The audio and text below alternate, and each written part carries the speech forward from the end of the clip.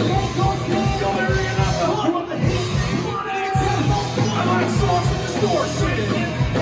Back up to my bottom.